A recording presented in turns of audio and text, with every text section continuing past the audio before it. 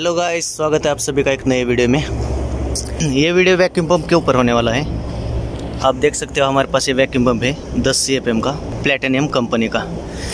इसके अंदर बिल्कुल ऑयल नहीं है, आप देख सकते हो ऑयल लेवल मुझे पता नहीं कैमरे में आ रही है या फिर नहीं आ रही। तो इसके अंदर बिल्कुल ऑयल नहीं है। अगर हम ऐसे वैक्यूम को चलाएँगे तो ये पंप ख़राब हो सकता है या फिर ओवर हीट होकर जाम हो सकता है।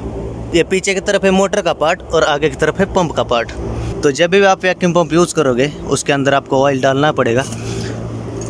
अगर ऑयल नहीं डालोगे तो पंप सीज हो जाएगा और वो ख़राब हो जाएगा। अभी अगर मैं आपको चालू करके दिखाऊँ तो इसका साउंड सुन सकते हो आप।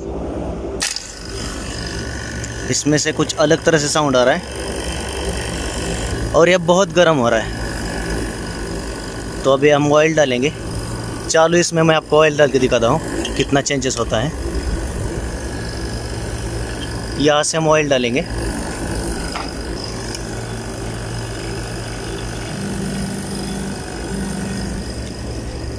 तो गाइज़ ये है ऑयल वैक्यूम पम्प का।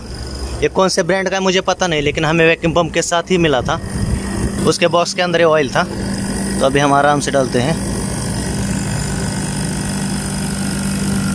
थोड़ा गिर गया डालने का देखिए गाइज़ अभी साउंड चेंज हो रहा है इसका। अगर इसके अंदर ऑयल नहीं रहेगा तो वे वैक्यूम भी नहीं करेगा। देखिए अब भी ये हिलना स्टार्ट हुआ। अब भी साउंड चेंज होगा इसका पूरी तरह से। ठीक है। ओके जोसेफ काफ़ी का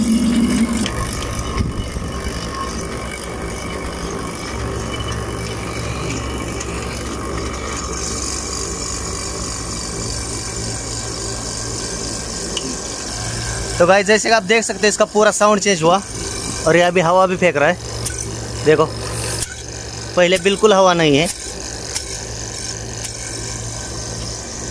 तो इसके लिए वैक्यूम पंप के अंदर का ऑयल देखना भी हमारा काम है।